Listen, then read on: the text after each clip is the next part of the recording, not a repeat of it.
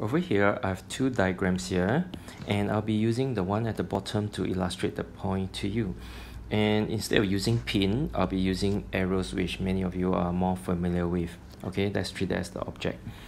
Now, the if you have seen the video of the experiment, you should know that you're supposed to move the pin nearer or further away from the lens such that the image form is of the same size and coincide even though you move your eyes forward and backwards. The image and the object will be in line coincide together.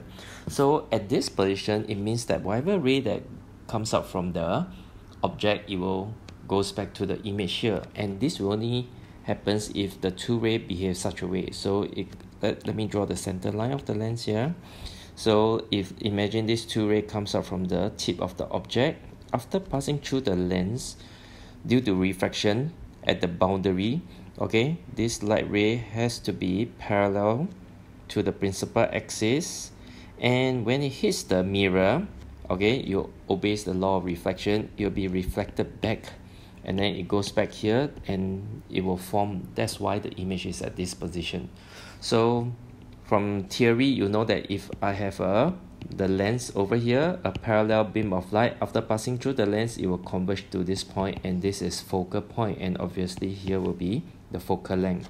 So that means to say this image when you get this kind of the image coincide with the object that means to say the distance from the optical center to the image here or the object that will be your focal length and another thing that you might be wondering is how do I roughly draw light ray to illustrate that the image form is inverted. So let's draw a simple one, a rough one. Let's say now I'll use the bottom of the object. So if I draw a single light ray passing through the optical center, it will just go straight without bending. So this will be the normal and this is my eye. When it hits the mirror here, it will obeys the law of reflection so it will be reflected and this I and R will be the same that's assuming the glass is actually much longer. So it will pass through the glass. Because of bending of light it will bend towards here and then come to this point. That's how you draw the light ray roughly to illustrate that it is inverted.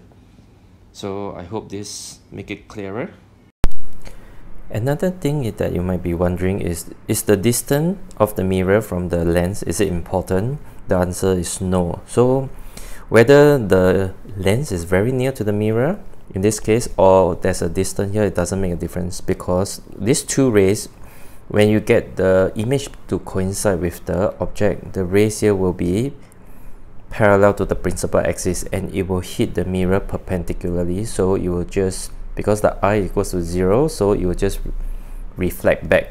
So this distance doesn't make any difference